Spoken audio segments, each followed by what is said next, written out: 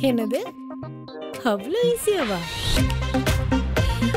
இவ்வளோ ஈஸியா கால் பண்ண. இடத்த சொல்லு. நம்ம வீட்டு ஆளுங்க நம்மள எப்படி பார்த்துப்பாங்க? அப்படி பார்த்துப்பாங்க. போலாமா? இப்படிங்கிறதுக்குள்ள ஒரு செம ஜிடி ஹாலிடேக்கு இரநூறுவாங்க கிலோ. ஓகே தக்காளி. எத்தனை கிலோ போட்டு பண்ண போறோம்க்கா நம்ம? நம்ம கிலோ கணக்குல எல்லாம் போடலைங்க. அவ்வளோ வசதியான ஆள்லாம் இல்லை. எனக்கு புளியோதரைனா ரொம்ப பிடிக்கும். காலையில வரும்போது லெமன் சாதம் சாப்பிட்டுருந்தீங்கல்ல நீங்கள் பெருசு பெருசாக வச்சுருக்காங்கன்னு சொல்றீங்கல்ல அது வஞ்சிரமே இல்லை. ஓ அது என்ன மீன்? வஞ்சிரம் இவ்வளோ சைஸுக்கு மேலே வளரவே வளராது. முருங்கைக்காய் போட்டு மீன் குழம்பு முருங்கைக்காயும் மாங்காயும் போட்டு தான் வைப்பாங்க. மீன் குழம்புல இருந்து அப்படியே கொஞ்சம் கீழே வந்தோம்னா இந்த இடம் ஃபுல்லா இப்படி ஆயிடுக்கு. இந்த ஒரு வீடு மட்டும் இல்லை. இங்கே இருக்க கிட்டத்தட்ட இருக்கக்கூடிய எல்லா வீடுகளும் ஒரு சில பேர் கொஞ்சம் கொஞ்சம் காசு கிடைச்சதை வச்சு வேலை பார்த்துருக்காங்க. இப்போ நாங்கள் ஒரு நிலப்பரப்பில் சுதந்திரமாக வாழ்ந்துட்டு இருந்தோம். அது எங்களோட இடம். எங்களுக்கு பட்டா இருந்தது. அந்த கடற்கரைக்கு ஒட்டி உள்ள பகுதியில். அங்கேருந்து அந்த வீட்டை அந்த இடத்த எங்கள்கிட்ட பிடுங்கி உங்களுக்கு பாதுகாப்பான வீடு கட்டித்தரோம் இதுதான் பாதுகாப்பான வீடு. நீங்கள் பார்த்துக்கணும் இந்தியாவும் இலங்கையும் ஒரு கிரிக்கெட் விளையாடுறாங்கன்னு வச்சுக்கோங்களேன். நீங்கள் எல்லாரும் என்ன நினைப்பீங்க? இந்தியா ஜெயிக்கணும்னு நினைப்பீங்க.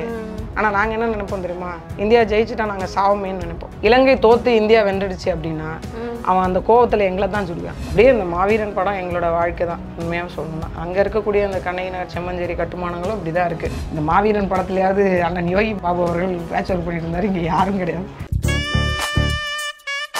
இந்த வீட்டுக்கு சீமான் அவர்கள் வந்து பார்த்திருக்காங்களா? இல்லை அண்ணன் இது வரைக்கும் இங்கே வந்ததில்லை. இது வந்து இந்த வீட்டினுடைய பெரிய ஆபத்து. எப்போ வேணாலும் விழலாம் அப்படிங்கிற மாதிரி தான்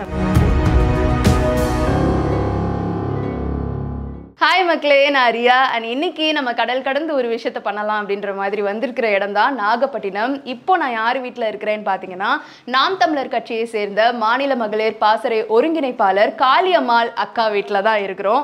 அண்ட் அவங்க வீட்டில் போய் முக்கியமாக கடலோர பகுதி அப்படின்னாலே மீன் சமைக்காமல் இருந்தால் எப்படி? ஸோ மீன் சமைச்சிக்கிட்டே அவங்களுடைய ஸ்டைலில் மீன் குழம்பு எப்படி வைக்கிறாங்க அப்படின்னு கேட்டுட்டு அவங்க ஹோம் டூரையும் பார்க்க போகிறோம் கம் ஹாய் வாங்க. எங்களுக்காக ஆல்ரெடி வந்து தக்காளிலாம் கட் பண்ணி மீன் குழம்புக்காக ரெடி பண்ணிட்டு இருக்காங்க எப்படி இருக்கிறீங்கக்கா?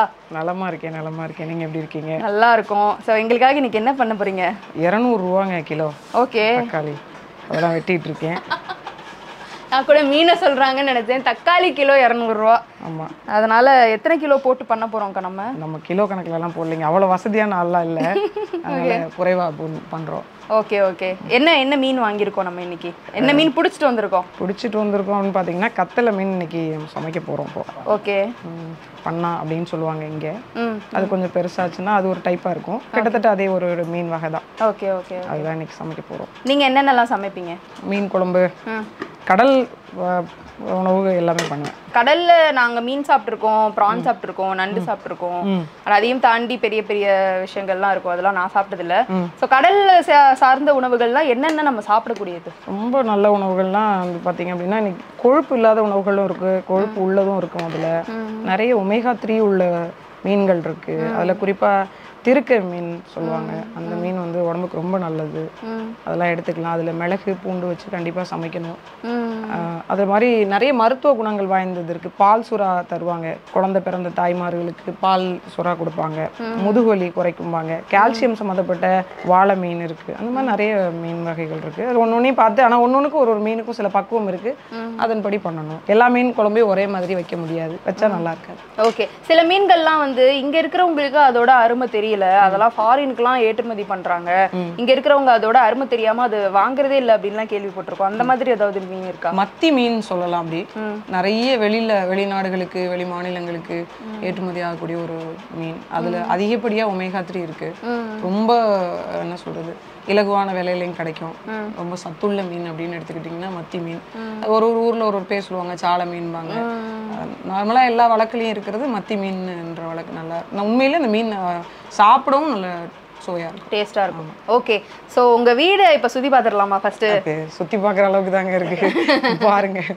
அரசியல்வாதி அப்படின்னாலே நல்ல மாட மாளிகை பங்களா இல்ல காசை வந்து வாங்கி வச்சுக்கிட்டு நல்ல வசதியான வாழ்க்கை வாழணும் அப்படின்னு ஆசைப்படுறவங்க பார்த்துருக்கோம். சில இடங்கள்ல கேள்விப்பட்டிருக்கோம். ஆனா ஒரு ஏழ்மையான வாழ்க்கையை நீங்க விரும்புறீங்களா? எதனால ஒரு குட்டி வீட்ல வாழ்றீங்க நீங்க? யதார்த்தத்தை சொல்லணும் அப்படின்னா ஒரு அரசியல்வாதி இப்படி தான் இருக்கணுன்ற பிம்பம் வந்து உடையணும் ஒன்று அப்படிலாம் இல்லை. உங்களுக்கு தெரியும் ஐயா கர்ம வீரர் காமராசர் அவர் எப்படி ஒரு வாழ்க்கையை வாழ்ந்தார் அப்படின்னு. உண்மையிலேயே ஒரு அரசியல்வாதி அப்படிதான் இருக்கணும் அப்படின்னு விரும்புகிறேன் ஏன்னா இன்னைக்கு அந்த சிரமம் தெரியணும்ல. இன்னைக்கு என் வீட்டோட சூழல். இப்போ நான் வந்து பொது குழாயில தான் போய் தண்ணி குடிப்பேன். அந்த மாதிரி ஒவ்வொரு சூழல்லையும் இருந்தால் தான் அதனோட வலி என்ன அப்படின்னு புரியும். ஒன்று ரெண்டாவது நாங்கள் ஒன்றும் பரம்பரை பணக்காரர்கள்லாம் இல்லை. நாங்கள் எந்த மட்டத்தில் இருந்து வளர்றோமோ அப்படியே தான் இருக்கணும்னு நினைக்கிறோம். இந்த சூழல் வந்து இப்போ இங்கே நான் வந்து ஒரு சுனாமி அடுக்குமாடி குடியிருப்பில் வசிக்கிறோம். இல்லை நான் முதல் மாடியில் முதல் தளம். இங்கே வந்து கிரவுண்ட் ஃப்ளோரும் முதல் தளமும் இருக்குது அதில் முதல் தளத்தில் நான் இருக்கேன். இன்னும் சொல்லப்போனால் இந்த வீடு கட்டி கொடுத்து பதினஞ்சு ஆண்டுக்கு ஆகுது. ஆனால் பதினஞ்சு ஆண்டுகள் தாங்குற மாதிரி இந்த வீடு இருக்கா அப்படிங்கிறதே தெரியல. இப்போ ஒன்று ரெண்டாவது வந்து இந்த ஒரு எண்ணம் இருக்கு பாருங்க. நம்ம வந்து அரசியல்வாதியா வந்தா நிறைய காசு வரும். பெரிய பெரிய மாட மாளிகையில வாழலாம் அப்படின்னு. இந்த எண்ணம் தான் ஊழலுக்கு அடித்தளமே. அந்த மாதிரி இருக்க வேண்டாம். வாழ்ற வாழ்க்கையில இப்போ எனக்கு வந்து நல்லா சமைச்சு சாப்பிட முடியும். நாலு பேர் வந்தா அவங்களுக்கு உணவு கொடுக்க முடியும். ஏன் போதுமான வசதிகள் நாங்கள் வாழ்றதுக்கு தேவையான வசதிகள் இந்த வீட்டில் இருக்கு அப்படின்னு நினைக்கிறேன். அதனால இங்க இருக்கிறதும் சொந்த பந்தங்களோட இருக்கிறது நமக்கு பிடித்தவங்களோட இருக்கிறது. அதுவே ஒரு பெரிய மகிழ்ச்சி தானே? அதனால இங்க இருக்கோம். உண்மையை சொல்லப்போனால் இந்த இடம் எனக்கு ரொம்ப ரொம்ப பிடிக்கும். பிடிக்கும். வேற எங்கேயும் போகணும்னு ஆசைப்பட்டிருக்கிறீங்களா? ஆசை நான் என் பிள்ளைங்க ஆசைப்பட்டிருக்காங்க. என்னன்னா இப்போ இது நாலு வீடு சேர்ந்த ஒரு தளமா இருக்கு இல்லையா? வெளியில போய் குழந்தைங்க விளாண்டா பக்கத்து வீட்டுக்காரவங்களுக்கு தொந்தரவா இருக்கும். அப்போ என் பையன் கேட்பான் நம்ம எப்பமா பெரிய வீடு கட்டுவோம் குறைஞ்சபட்சம் விளையாடுறதுக்காவது இடம் வேணும்லம்மா அப்படின்னு சொல்லுவாங்க. எனக்கு பெருசா இந்த மாதிரி அப்படி வாழணும் இப்படி வாழணும்லாம் இல்லை. ஒரு ஒரு வீடு ஒரு நல்ல வீட்டில் இருக்கணும் அப்படின்றது சின்ன வயசுலேருந்தே நமக்கு எல்லாருக்கும் தோணும்ல. இந்த மாதிரி அடுக்குமாடி குடியிருப்புல நான் சின்ன பிள்ளையிலேருந்து நம்ம வாழல. சுனாமிக்கு பிறகு தானே நாங்கள் எல்லாருமே இப்படி ஒரு நிலைக்கு வந்திருக்கோம். அது என்ன குறுகிய நிலப்பரப்பு இது இருக்கிறது. இப்ப இந்த வீட்டில் ஏதாவது பண்ணீங்கன்னா பக்கத்து வீட்டுக்கு தொந்தரவா இருக்கும். பக்கத்து வீட்டுக்கு ஏதாவது பண்ணா இங்கே தொந்தரவா இருக்கும். ஒரு சின்ன ஆணி அடிச்சா கூட டம்மு டம்முன்னு சத்தம் வரும். ஒரு என்ன சொல்றது ஒரு அமைதியான சூழ்நிலை அப்படின்றது மனசுக்கு இருக்கும். ஆனா யதார்த்த மாதிரி இந்த மாதிரி கட்டுமான வாழ்க்கையில கொஞ்சம் கஷ்டமா தான் இருக்கும். ஒரு மழை பெஞ்சு தண்ணி ஓடிச்சுனா கூட இந்த இடத்துலலாம் ஒரு முட்டிக்கால அளவு தண்ணி நிற்கும் மழை காலத்துல. அப்போ கூட வீடு கழுவி தண்ணி ஓடினாலே பக்கத்து வீட்டில் அக்கத்து வீட்டிலலாம் ஒரு சின்ன பிரச்சனைகள் வரும். என்னன்னா பறந்துபட்டு வாழ்ந்தோம். இப்போ கொண்டு வந்து எங்களை புறா கூட்டில் அடைக்கிற மாதிரி அடைச்சி வச்சிருக்காங்க. இதுக்குமே பட்டா கிடையாது. இன்னும் சொல்ல போனா எங்க வீட்டோட மின்சார கட்டணத்தோட இணைப்பு மாவட்ட ஆட்சியர் பேர்ல இருக்கு இத்தனை ஆண்டு காலமா. ஓ அதுவே எங்க பேர்ல கிடையாது.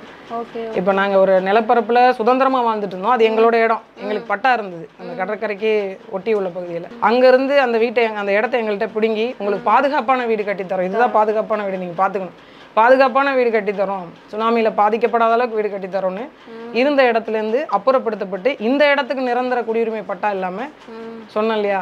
சொந்த மண்ணிலே அகதிக மாதிரி வாழ்ந்துட்டு இருக்கோம் இந்த ஒரு விஷயத்த மாத்துறதுக்கு என்ன முயற்சி எடுக்கலாம் அப்படின்னு யோசிக்கிறீங்க? எப்பயுமே அதிகாரம் மிக வலிமையானதுங்க. நீங்க வந்து ஒவ்வொருத்தட்டையா போய் கெஞ்சுரும் எங்களுக்கு அதை பண்ணித்தாங்க இதை பண்ணித்தாங்க அப்ப எல்லாரும் என்ன பண்றாங்க? இங்க தமிழ்நாட்டை பொறுத்த வரைக்கும் குறிப்பா இந்தியாவே சொல்லலாம். இந்தியாவை பொறுத்த வரைக்கும் முக்கியமா ஒன்று ஒன்று ஒரு விஷயம் பாக்குறாங்க. அலுவலர்கள் எல்லாம் அதிகாரிகள்னு நம்ம சொல்றோம். இப்ப அதிகாரம் படைத்தவர்களாக அவங்க மாறிடுறாங்க. உண்மையிலேயே அவங்க அதிகாரிகள்னா இல்ல. அவங்க அலுவலர்கள். ஆனா என்ன ஒரு நம்மளோட சாபக்கேடுனா அலுவலர்கள் அத்தனை பேரும் அதிகாரிகளா மாறினதுனால அதிகாரம் படைச்ச மக்கள் அலுவலுக்காக போய் கெஞ்ச வேண்டியதா இருக்கு. இந்தியாவும் இலங்கையும் ஒரு கிரிக்கெட் விளையாடுறாங்கன்னு வச்சுக்கோங்களேன். நீங்க எல்லாரும் என்ன நினைப்பீங்க? இந்தியா ஜெயிக்கணும்னு நினைப்பீங்க.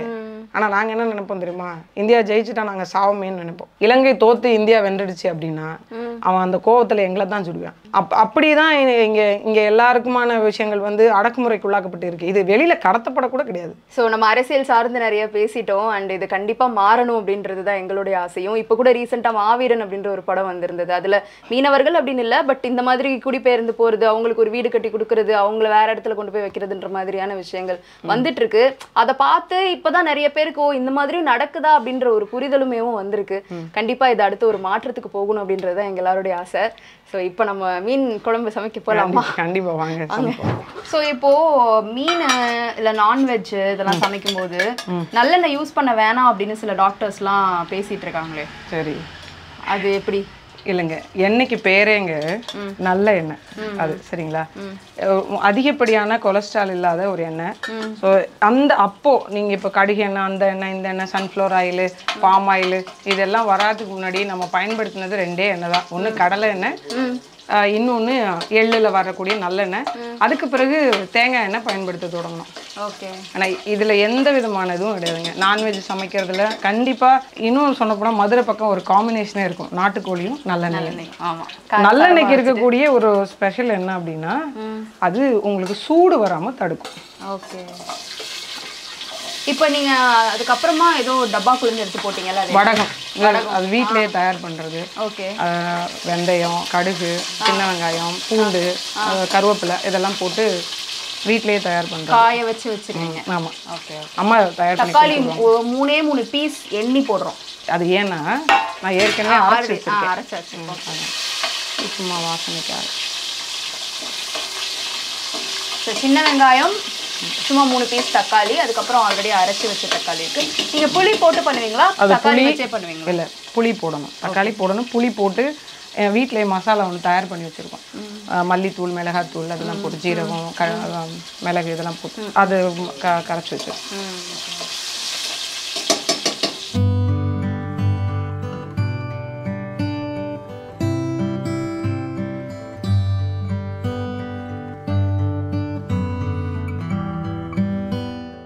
இப்போ தக்காளி அரைச்சது வந்து ஆட் பண்ணியிருக்கோம் இதுல ஸ்பெஷலே அவங்க செஞ்சு வச்சிருக்க அந்த ஸ்பெஷல் வடகம் தான். அதுக்கு அது. அந்த மசாலா அதுதான் வந்து தனி மனம் கொடுக்கும். மீன் பிடிக்கிறவங்க மீனவர்கள் கடலோர பகுதிகளில் இருக்கிறவங்க எல்லாருமே ஒரு வகையான மீன் குழம்பு வைப்பாங்கன்னு நாங்கள் கேள்விப்பட்டிருக்கோம். நார்மலாக வீட்டில் செய்கிற மீன் குழம்பை விட நீங்கள் அதில் வித்தியாசமாக எதுவும் செய்வீங்களா? நீங்கள் மீன் குழம்புக்கு தேங்காய் போடுவீங்களா? போட மாட்டீங்களா? இந்த பகுதியில் தேங்காய் ஊற்றாம மீன் குழம்பே வைக்க மாட்டாங்க. Okay okay. தேங்காவும் சின்ன வெங்காயத்தையும் அரைச்சி வச்சுக்குவாங்க. குழம்புடைய கடைசி ப பக்கம் அதை ஊற்றுவாங்க ஒரு சில மீனுக்கு அதை ஊற்ற தேவையில்லை அப்படின்னு. இல்லை இன்னும் ஒரு சில பேர் என்ன பண்ணுவாங்க இந்த மாதிரி வெங்காயமும் சின்ன வெங்காயமும் தக்காளியும் அரைச்சி அதை ஒரு மசாலா மாதிரி ஊற்றுவாங்க இது ஊற்றுனா தேங்காய் ஊற்ற தேவையில்லை. முருங்கைக்காய் போட்டு மீன் குழம்பு வைக்கிறோம் முருங்கைக்காயும் மாங்காயும் போட்டு தான் வைப்பாங்க. ஏதாவது ஒன்று சேர்ப்பாங்க. கண்டிப்பாக முருங்கைக்காய் இல்லைன்னா கத்திரிக்காய் இல்லைன்னா மாங்காய். இது மூணு காயும் வந்து மீன் குழம்புக்கு ரொம்ப நல்லா. எப்படியும் எந்த நான்வெஜ்ஜோடையும் நம்ம காய் சேர்க்க மாட்டோம். ஆனா ஆனால் மீன் குழம்போட கண்டிப்பாக சேர்க்கணும் எங்கள் அம்மா வந்து மாங்காய் எல்லாம் மீன் குழம்பே வைக்க மாட்டாங்க. அது தனி டேஸ்ட்ல எங்கள் வீட்டில் அங்கே மரம் இருக்கா? அது அங்கேயே காய்க்கிறது. நல்ல பெரிய மாங்காய் மல்கோவா காய்க்கும். அதை எங்கள் அம்மா போட்டு தான் பண்ணுவாங்க. இன்னொன்று நான் ஒரு மாங்காய் பிரியை மாங்காய் இருந்தால் சாப்பிடுவேன். அதனால நிறைய மீன் தின்ன மாட்டேன். நிறைய நிறைய மீன் எங்கள் அம்மா கொடுத்து பழக்காம விட்டுட்டாங்க. அதனால ஓ ஒரு சில மீன் தான் சாப்பிடுவோம் சாப்பிடுவேன். நான் சாப்பிடுவேன். அவங்க எங்கள் வீட்டில் எல்லாம் நிறைய சாப்பிடுவேன் எல்லா மீனுமே சாப்பிடுவாங்க. அது எங்கள் அம்மா நான் சின்ன வயசில் வேண்டான்னு விட்டேன் பாருங்க. அது எதையுமே எனக்கு கொடுக்காம வச்சிட்டேன் சமைக்காம வச்சிட்டாங்க. சார் என்ன பாசம். பாசம் இல்லை. நான் அந்த புள்ள சாப்பிட மாட்டேங்குது. அதை ஏன் வேஸ்ட்டாக சமைச்சிக்கிட்டுன்னு அதை சமைக்காம விட்டாங்க. அதனால நிறைய மீன் நான் சாப்பிட்டே பழகல. என்னென்ன மீன் சாப்பிட்டு பழகல இந்த முள் இருக்கிற மீன் அதிகமாக இப்போ நிறைய முள் இருக்கும்ல ஒரு சில மீன். கவலை குத்துவாம்பாங்க பொருவான்னு சொல்லுவாங்க. குட்டி குட்டி மீன்லாம் இருக்கும். நெத்திலி சாப்பிடுவீங்களா? ஆ நெத்திலி சாப்பிடுவோம். கருவாடா சாப்பிடுவோம். மீனுமே பெரிய நெத்திலியா ஒன்று இருக்கும். அதுன்னா அது எடுத்த தானா வந்துடும் அது சாப்பிடுவேன். ஓ ஆனா மீனை பொறுத்தவரையில ஒரு ஒரு மீனுக்கும் ஒரு ஒரு டேஸ்ட் இருக்கும்ல? எல்லாமே கடல்ல இருந்து வருது. ஆனா ஒரு ஒரு மீன் இப்போ நெத்திலி வந்து சின்ன மீன்னா ஒரு மாதிரி நல்லா டேஸ்ட் இருக்கும். பெரிய மீன் ஒரு மாதிரி டேஸ்ட் இருக்கும். இல்லை அப்படி இல்லை. மீனோட தான் இப்போ ஒரே மீனே ஆ, நீங்க சொல்ற மாதிரி சின்னதா இருக்கும்போது ஒரு ஒரு டேஸ்ட் டேஸ்ட் இருக்கும். பெருசான ஒரு டேஸ்ட் இருக்கும். அப்படின்னு பார்த்தீங்கன்னா சின்ன மீன்லாம் ஒரு டேஸ்ட் பெரிய மீன்லாம் ஒரு டேஸ்ட் அப்படி இல்லை. எல்லாமே தான். ஆனா இப்போ நம்ம வஞ்சரம் சாப்பிட்றதுக்கும் நெத்திலி குட்டி மீனை சாப்பிட்றதுக்கும் நிறைய வித்தியாசம் இருக்கு. நிறைய பேருக்கு வஞ்சரம் பிடிக்கும். ஆனா ஒரு சில பேர் வந்து எனக்கு நெத்திலி தான் வஞ்சரமா? பிடிக்கும். வஞ்சரம் தானே அது? நெய் மீனா? சொல்லுங்க. வஞ்சரம் மீன் எந்த சைஸ்ல பார்த்துருக்கீங்க வஞ்சர மீன்? நாங்க கடையில வந்து இப்படி ஒரு ஸ்லைஸ் இந்த ஹேண்ட் சைஸுக்கு ஒரு ஸ்லைஸ் போட்டு கொடுப்பாங்க. சரி அதுக்கு பிறகு? இல்லை மீனா எவ்வளோ எப்படி பார்த்துருக்கீங்க? மீனா அந்த இந்த சைஸ் பார்த்துருக்கேன். டிவியில படங்கள்லாம் பெருசு பெருசா பார்த்துருக்கேன். நான் இதான் இத்தனியூண்டு நேர்ல பார்த்தது தான் இத்தனியூண்டு தான் பார்த்துருக்கேன். நீங்க பார்த்தது மட்டும்தான் வஞ்சிரம் ஓகே. நீங்க பெருசு பெருசா வச்சிருக்காங்கன்னு சொல்றீங்கல்ல அது வஞ்சிரமே இல்லை. ஓ அது என்ன மீன்? வஞ்சிரம் இவ்வளோ சைஸுக்கு மேலே வளரவே வளராது. Okay okay. அப்போ அந்த பெரிய ஸ்லைஸு அது ஒரு ஒரு ஒரு ஒரு ஊர்ல ஒரு ஒரு பேர் சொல்லுவாங்க வெள்ளரா மீனும்பாங்க. இங்கெல்லாம் வேற வேற மீன் அப்ப சொல்லுவாங்க சும்மா வஞ்சரம்னு சொல்லி வித்து விட்டுறாங்களா ஆனா ஒரே மாதிரி இருக்கும். ஒரே மாதிரி இருக்கும். டேஸ்டும் கிட்டத்தட்ட ஒரே மாதிரி இருக்கும். ஆனா வஞ்சிரம் ஒரு குறிப்பிட்ட அளவுக்கு மேல வளராது. இப்ப பெருசா வச்சு காசிமேடு கடற்கரையில எல்லாம் ஒரு சில மீன் பெருசு பெருசா வச்சு வெட்டுறாங்கல்ல அது வஞ்சிரம் இல்ல வஞ்சிரம் மாதிரி இருக்கக்கூடிய இன்னொரு மீன். ஓகே. ஸோ இப்போ நம்ம போட்ட மசால்லாம் வந்து வதங்கி மசால் இல்லை ஆக்சுவலி அந்த தக்காளி வடகம் வெங்காயம் அதுவே வந்து ஒரு மசால் மாதிரி ஒரு கலர் வந்துருச்சு. ஆல்ரெடி இதுல என்னென்னலாம் கரைச்சி வச்சிருக்கோம்? இதுல புளி அந்த நான் வச்சிருந்த அந்த குழம்பு மிளகாய் தூள் மிக்ஸ்டு தூள் ஓகே உப்பு. ஓகே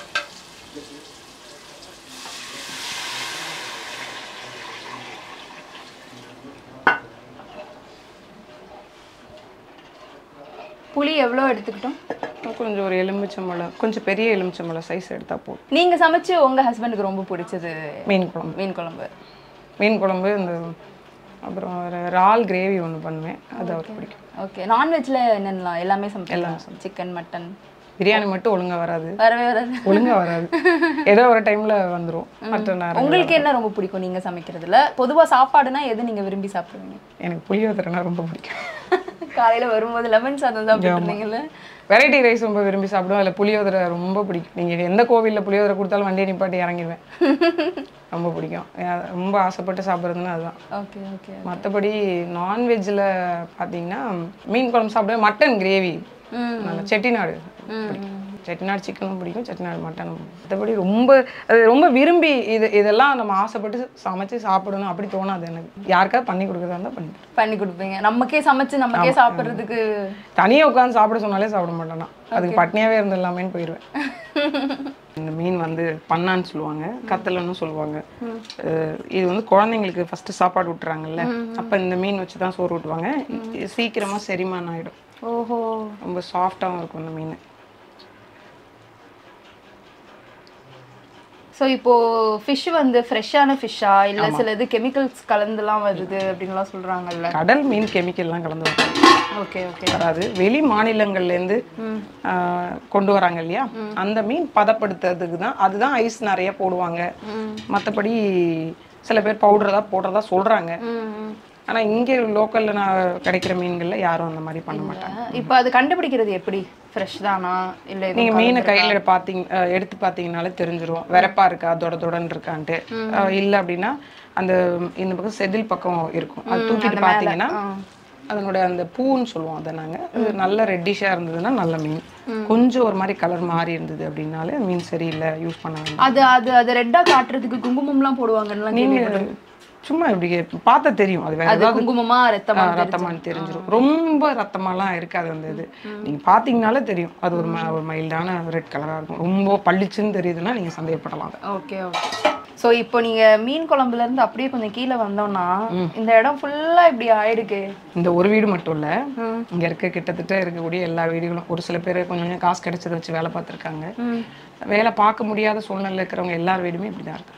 இதை விட மாவீரன் படத்துல வர மாதிரி சமைச்சிட்டு இருக்கும்போது மேல ஏதாவது வந்து இது வரைக்கும் அந்த மாதிரி சமையல் கட்டுல ஒண்ணும் விழல. பால்கனில எல்லாம் ஒரு தடவை என்ன பண்ணிருச்சு எங்க பாப்பா வந்து பொம்மையெல்லாம் வச்சு அங்க விளையாண்டுட்டு இருந்தாங்க சின்ன சின்ன ரொம்ப குட்டி பிள்ளையா இருக்கும்போது. அப்ப நான் என்னும் தோணுச்சு பாப்பா அங்க போய் விளையாட வேண்டாம் இடிச்சு இடிச்சு விழுந்துற போது இங்க வா இப்படிதான் சொல்றேன். இங்க இங்க வந்து விளையாடுப்பா அப்படின்னு வரவே இல்லை. அப்புறம் நானாவே தூக்கிட்டு வந்து இங்க உட்கார வச்சுட்டு திரும்புறேன் மடார்னு விழுது. அந்த மாதிரி சின்ன சின்ன கல்லா பேந்து பேந்து விழும். நிறைய பேர் வீட்ல அந்த மாதிரி பிரச்சனை இருக்கு. இன்னொன்னு இந்த வீடு கொடுத்ததுல இருந்தே இது வரைக்கும் பராமரிப்பு பணி அப்படின்னு எதுவுமே அரசாங்கத்தால பண்ணல. இந்த மாவீரன் படத்துலயாவது அண்ணன் யோகி பாபு அவர்கள் பேட்ச் ஒர்க் பண்ணிட்டு இருந்தாரு. இங்க யாரும் கிடையாது. உண்மையா சொல்லணும்னா. இங்க இது ரொம்ப பெரிய வருத்தம். இன்னும் இந்த பாதாள சாக்கடை போட்டிருக்காங்க. அது எல்லாத்தையுமே நாம தான் சரி பண்ணிக்கணும். அதையுமே யாரும் சரி பண்ண வர மாட்டாங்க மழை பெஞ்சதுன்னா ஏன்னா இது வந்து முன்னாடி ஒரு மில் இருந்திருக்கு இந்த இடத்துல. வெள்ளை வெள்ளக்காரர்கள் காலத்திலேயே பார்த்தீங்க அப்படின்னா ஒரு ரோலிங் மில் இருந்திருக்கு இந்த இடத்துல. அது இல்லாமல் வெங்காய ஏற்றுமதி நிறைய நடைபெற்ற ஒரு இடம் இது. நிறைய இன்னும் சொல்ல மற்ற பகுதிகளுக்கான உணவுப் பொருட்களை வந்து இறக்குமதி பண்ண இடமா இருக்கட்டும் ஏற்றுமதி பண்ணமா இருக்கட்டும் அதில் நாகப்பட்டினம் வந்து பெ- பெரிய சிறப்பு வாய்ந்த ஒரு இடம். இந்த ரோலிங் மில் இருக்கும் இந்த இடம் மட்டும் கொஞ்சம் தாழ்வாகவும் மற்ற இடங்கள் கொஞ்சம் உயரமாகவும் இருக்கும். அதனால பார்த்தீங்க அப்படின்னா இது மழை பெஞ்சதுன்னா இங்கேருந்து தண்ணி வெளியே ஓடுறதுக்கு வழியே இல்லை. அதுவா வடிஞ்சாதான் உண்டு. அதுக்கான எந்த வேலையும் இங்கே செய்யப்படலை. கொதிக்குது. ஸோ மீன் போட்டதுக்கு அப்புறம் எத்தனை நிமிஷம் கழிச்சு ஆஃப் பண்ணலாம்? இல்லை நம்ம மீன் போட்டதுக்கு பிறகு நீங்கள் கொதிக்கவே விட தேவையில்ல. சிம்மில் வச்சிட்டாலே போதும். ஓகே அது ஒரு அஞ்சு நிமிஷத்தில் குழம்பு மீன் வந்து சீக்கிரம் அது இந்த மீன் சீக்கிரம் வந்துடும் ரொம்ப வேக விட்டிங்கன்னா உடஞ்சிரும். அதனால் சிம்லேயே வச்சுருக்கிறது நல்லது. இப்போ ஆஃப் பண்ணிடலாமா இல்லை அவ்வளோதான் கொஞ்ச நேரத்தில் அது அதுவாக வந்துடும் நம்ம மற்ற வேலைகள் சாப்பாடுலாம் எடுத்து வந்து வைக்கிற வேலையை பார்க்கலாம். ஓகே ஸோ இப்போ இந்த இடம் எல்லாம் வந்து இப்படி இருக்கிறத நீங்க பார்த்துருப்பீங்க. அண்ட் இது மட்டும் கிடையாது. ஹாலில் வாசல்ல பால்கனி அப்படின்னு சொல்லிட்டு நிறைய இடங்கள்ல இந்த மாதிரி இடிஞ்சு இடிஞ்சு விழுந்திருக்குது. அதை நம்ம போய் பார்த்துருவோமாக்கா? கண்டிப்பாக பார்ப்போம் வாங்க. ஸோ இங்க இங்கேயும் அதே மாதிரி விரிசல் விழுந்திருக்குல்ல? இது வந்து இந்த வீட்டினுடைய பெரிய ஆபத்து. இந்த வீடு மட்டும் இல்லை நிறைய இப்போ நாலு நாலு வீட்டுக்கு ஒரு ஜாயின் இருக்கு. ஓகே இப்போ இதில் இதுக்கு அடுத்த பக்கம் பார்த்தீங்கன்னா ஒரு நடு தூண் இருக்கும். அதில் பா பாதிப்பு இல்லை.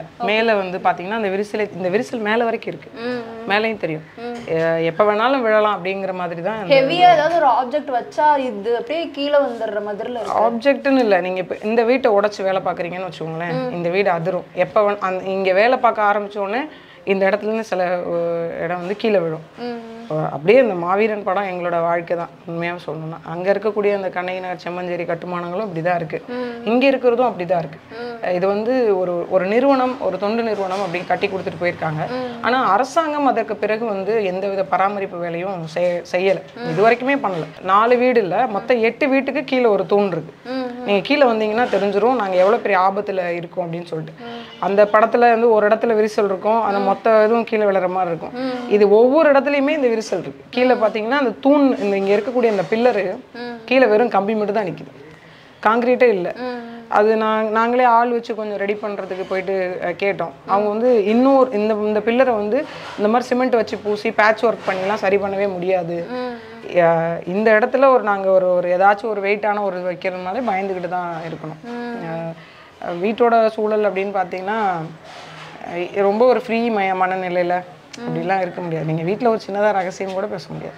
இங்கே பேசுனீங்கன்னா இங்கே கேட்கும் இங்கே பேசுனீங்கன்னா இங்கே கேட்கும் வீட்டில் ஒரு சின்னதாக ஒரு ஹஸ்பண்ட் மைய ஒய்ஃபுக்குள்ளே ஒரு சின்ன சண்டை வருதுன்னா கூட எல்லாருக்கும் தெரியும். அப்படிதான் இங்கே இருக்கிற சூழல் இருக்குது ஆனால் ஒரு பறந்துபட்டு வாழ்ந்துட்டு இந்த மாதிரி அடைப்பட்டு கிடக்கிறது வந்து பெரிய வருத்தம் தான் இத இந்த- இந்த வீட்டுக்கு சீமானவர்கள் வந்து பார்த்திருக்காங்களா? இல்லை அண்ணன் இது வரைக்கும் இங்கே வந்ததில்லை. நான் வந்து கடைசியாக இங்கே நாகப்பட்டினம் வந்தப்போ நான் கூப்பிட்டேன். வீட்டுக்கு வாங்கினேன் அப்படின்னு கூப்பிட்டேன் நான் நேரம் இல்லை. நேரம் வந்து இரவு நேரம் ஆகிடும் இல்லையா? கூட்டம் முடிச்சிட்டுல மணி பத்து மணிக்கு மேலே ஆகிடும் இது வரைக்கும் வந்ததில்லை. இந்த குடியிருப்புகள்லாம் இது வரைக்கும் அவர் பார்த்தது பார்த்ததில்லை. இப்படி ஒரு இருக்குன்றது தெரியுமா? நான் அடிக்கடி மேடையில் பேசியிருக்கேன். தெரியும். சொல்லியிருக்கேன். இந்த மாதிரி அடுக்குமாடி குடியிருப்பில் இருக்கோம். அதுலேயும் குறிப்பாக இந்த மின்சார கட்டணம் வந்து எங்கள் பேரில் இல்லை. மின் கட்டண இணைப்பு வந்து மாவட்ட ஆட்சியர் பேரில் தான் இருக்குது இன்னும் நாங்கள் இது வந்து ஒப்படைப்பு பத்திரம் தான் இது. எங்களுக்கு பட்டா அப்படிங்கிறது கொடுத்துருக்கிறது வந்து வெறும் ஒப்படைப்பு பட்டா. இட்ஸ் கண்டிஷனல் பட்டா. பதினெட்டு வகையான கண்டிஷனல் இருக்கு. பெரிய என்னன்னா இந்த வீடை நாங்கள் விற்க முடியாது. அடகு வைக்க முடியாது. பேங்க் லோன்லாம் வச்சு வாங்க முடியாது. இதை வந்து எந்த கட்டுமான வேலையும் இதில் நாங்கள் செய்யக்கூடாது. ரூல் படி. செய்யக்கூடாது. என்னோட பிள்ளை நான் நான் இல்லை நான் இறந்து போகிற தருவா இல்லை சொத்து பிரிக்கிறேன் அப்படின்ற அடிப்படையில் என் பிள்ளைங்களுக்கு கூட இந்த வீட்டை எழுதி வைக்க முடியாது. இட்ஸ் அலாட்மெண்ட் ஹவுஸ் அவ்வளோதான் நான் இருந்துக்கிற வரைக்கும் இருந்துக்கலாம். அனுபவ பாத்திய மாதிரி. இது என்ன வரையறையில் அரசாங்கம் இப்படி ஒரு வீடை வந்து ஒருத்தருக்கு கொடுக்குறாங்க அப்படிங்கிறது தெரியல. கட்சியில இருந்து வேற யாருமே வந்து பார்த்தது இல்லையா? இங்கே வந்து உள்ளூரில் இருக்கக்கூடிய பொறுப்பாளர்கள்லாம் வீட்டுக்கு வந்திருக்காங்க. எனக்கு நினைவு வந்து அண்ணன் களஞ்சியம் அவர்கள் தமிழர் நல பேர் இயக்கத்தினுடைய தலைவர் இயக்குனர். அவங்க ஒரு தடவை இங்கே ஒரு நிகழ்வுக்கு வந்தப்போ நான் வீட்டுக்கு கூப்பிட்டேன். வாங்கண்ணே சாப்பிட்டுட்டு போகலாம் அப்படின்னு கூப்பிட்டேன். அவங்க வந்திருக்காங்க. உண்மையிலேயே நாம் தமிழருக்கு நான் வரு நான் வருவதற்கு மிகப்பெரிய ஒரு காரணமாக இருந்தவர் மரியாதைக்குரிய சாகுல் ஹமீதுன்னு சொல்லிட்டு தற்போதைக்கு அவர் இல்லை. அவர் ஒரு தடவை வீட்டுக்கு வந்திருக்காரு. அவர் என்னன்னா நான் வீட்டுக்கு வர சொல்லலை. அவர் என்னை பார்க்க வரேன்னு சொன்ன உடனே வீட்டுக்கு வேண்டானே. நம்ம ஏதாவது ஒரு உணவகத்தில் சந்திப்போம் அப்படின்னு சொல்லிட்டு ஒரு தேநீர் ஏற்பாடு பண்ணிட்டு ஒரு தேநீர் கடையில் சந்திப்போம் நான் சொல்லிட்டேன். அவர் என்ன பண்ணிட்டாரு ஏன் வீட்டுக்கு வர வேண்டாம்னு சொல்கிறீங்க வெளியில் பார்க்கலான்னு சொல்கிறீங்க அப்படின்னு கேட்டார். இல்லைன்னா வீடு ரொம்ப சின்னதாக இருக்கும். நான் சுனாமி வீட்டில் இருக்கேன். அது நீங்கள் வந்தீங்கன்னா அவர் ஒரு பெரிய ஆளுமை. என்ன சொல்லப்போனால் விடுதலை புலிகள் அமைப்புகளோடு ஒரு நல்ல நட்புறவில் இருந்தவங்க. இன்னும் சொல்ல இப்போ இருக்கக்கூடிய பெரிய பெரிய ஆளுகளோடெல்லாம் நட்புறவில் இருந்தவர். சரி நம்ம வீட்டுக்கு கலைஞரனை கூப்பிடும்போதே அந்த யோசனை இருந்தது. தம்பி வீடு கொஞ்சம் வேலை பார்த்த மாதிரி இருக்கும். அங்கே வச்சு சாப்பாடு வைக்கலாமான்னு. ஆனால் கலைஞரனை சொல்லிட்டாங்கல்ல நான் இங்கே தான் வருவேன் அப்படின்ட்டாங்க.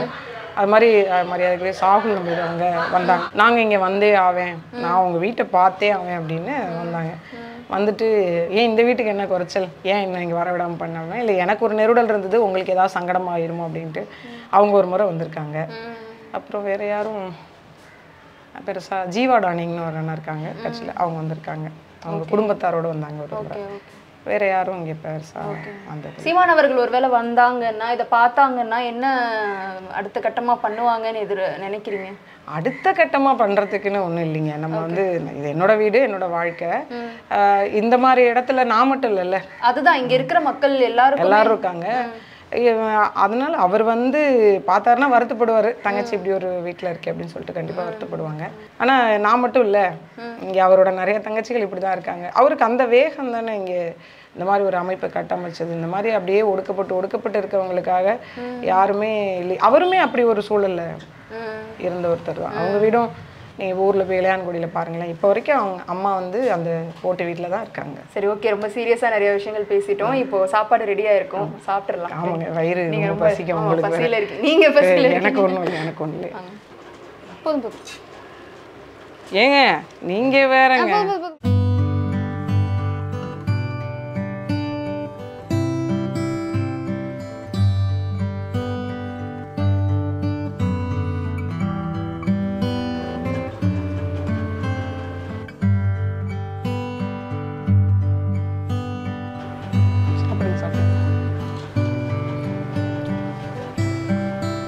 மாங்காவோட புளிப்பு வந்துட்டு பயங்கரமா இந்த ஒரு மீன் குழம்புல இருக்கு. ஸோ பொதுவாகவே வந்து மாங்காய் முருங்கைக்காய் கத்திரிக்காய் இந்த மாதிரியான காய்கறிகள் வந்து போட்டு வைப்பாங்க இந்த சைடில் இருக்கிற மக்கள் அப்படின்னு சொல்லி அக்கா சொல்லியிருந்தாங்க. அவங்க வீட்டில் ஸ்பெஷலாக அரைச்ச அந்த ஒரு மசாலா சொல்லியிருந்தாங்க இல்லையா? அதோட டேஸ்ட் நல்லா ஒரு பக்கம் தூக்கலாக வருது. இன்னொரு பக்கம் அந்த மாங்காய் டேஸ்ட்டு இன்னொரு பக்கம் ஃப்ரெஷ்ஷாக குக் பண்ண அந்த மீன் குழம்பு டேஸ்ட்டுன்னு ஒன்று சொல்லுவாங்க இல்லையா? அந்த டேஸ்ட்டு அண்ட் எல்லாமே மிக்ஸ் ஆகி வேற லெவலில் இருக்குது நான் அதை என்ஜாய் பண்ண போகிறேன் ஸோ மக்களே இன்னைக்கு காளியம்மல் அக்காவுடைய வீட்டை நம்ம பார்த்தோம். அண்ட் சூப்பராக ஒரு மீன் குழம்பு வச்சு கூடவே வந்து ஃபிஷ் ஃப்ரையும் பண்ணியிருக்கிறாங்க. பியூட்டிஃபுல்லாக நாங்கள் இந்த சாப்பாடை வந்து சாப்பிட்டு ரசித்து பேசுகிற என்னால் முடியல. அதனால நான் நல்லா அதை ரசித்து சாப்பிட மட்டும் போகிறேன் இது முடிச்சுட்டு நேராக நம்ம வந்து போட்டிங் போகிறோம் அங்கே போய் கடலோட உட்காந்து அக்கா கூட இன்னும் நிறைய நிறைய விஷயங்கள் இன்ட்ரெஸ்டிங்காக பேச வரும் ஸோ அங்கே நான் உங்களை சந்திக்கிறேன். அண்டில் தட் ஸ்டேட்யூ என்னது? அவ்வளோ ஈஸியாவா இவ்வளோ ஈஸியா கால் பண்ணு. இடத்த சொல்லு. நம்ம வீட்டு ஆளுங்க நம்மள எப்படி பார்த்துப்பாங்க? அப்படி பார்த்துப்பாங்க. போலாமா? இப்படிங்கிறதுக்குள்ள ஒரு செம ஜிடி ஹாலிடேக்கு